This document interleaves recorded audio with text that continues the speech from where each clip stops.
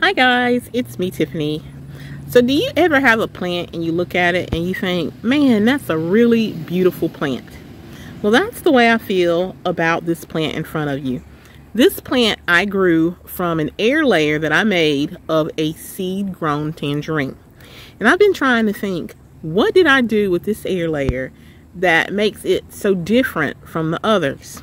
If you look, what I like about it, A, is that it's pretty low.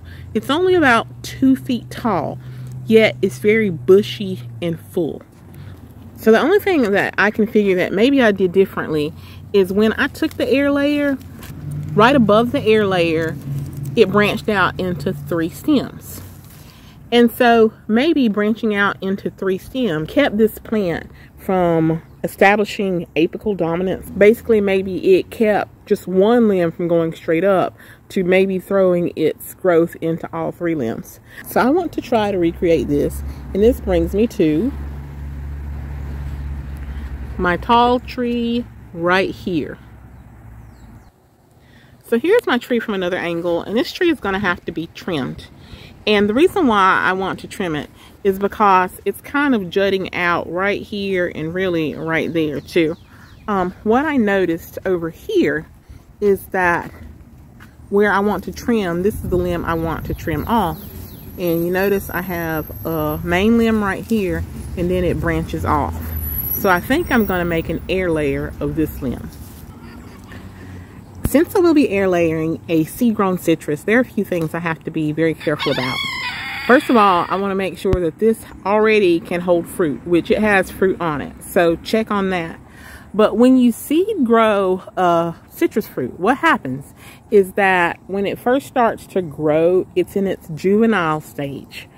And um, whenever it hits the preferred node count, it starts to flower so the thing is, is where is the preferred node count? Here, here, here, here. I have no idea.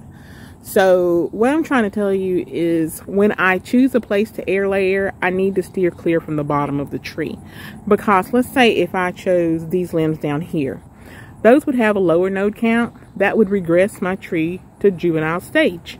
And if I choose those limbs down there, it might be another three, four years before I see fruit. But if I choose this up here at the top, that should have a higher node count, be more mature. So it should be maximum uh, two years before I see fruit. Some materials that I need to make this air layer are a piece of plastic, um, zip ties or twine. I only have like one in one, so that's what I'll be using. A sharp knife, aluminum foil, some scissors, Sphagnum moss would be better. I don't have any sphagnum moss, so I'm using peat moss today. So the first thing I'm going to do is remove some of these leaves and limbs that are right where I need to work.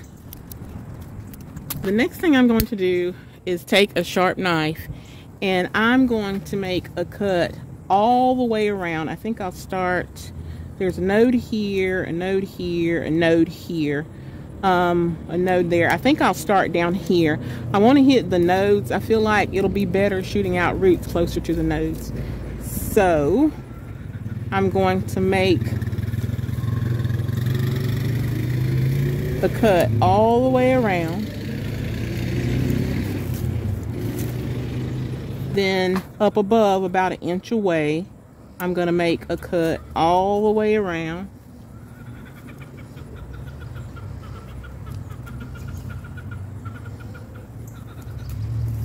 Okay, now I'm going to make a slice from cut to cut,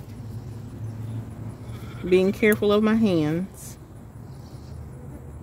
And the reason why I'm doing that is because this, we'll call it bark, will peel right off.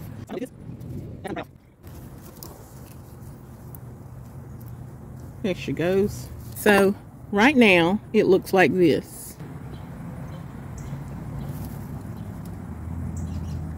The next part is very important. There is a thin green film here called cambium. I need to scrape that off. And the reason why I'm doing that is because that cambium delivers nutrients from the bottom part of the tree to the top part of the tree.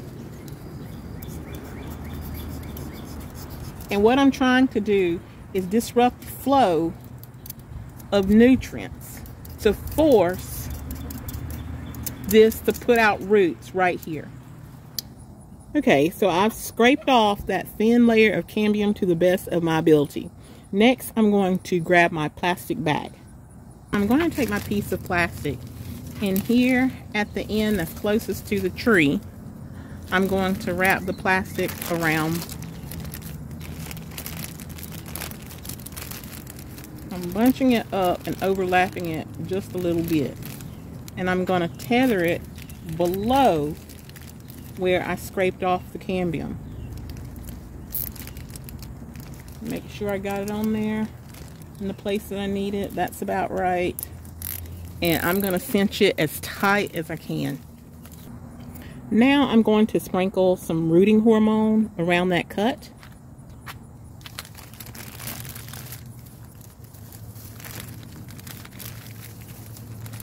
I'm going to take my moistened moss and I'm going to pack around that cut trying to get the moss in there in the bag without losing it.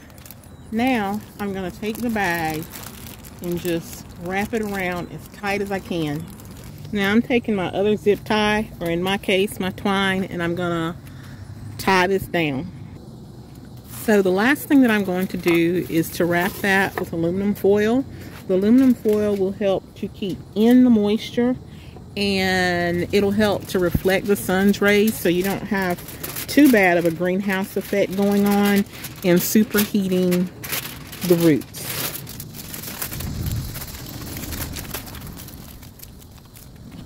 And that's it guys. If this is successful in about two to three months, I should be able to take off this aluminum foil and see roots through the plastic bag. So I'll keep you updated on the progress of this air layer and of all my mini projects. And I hope you guys have a wonderful day. Bye-bye.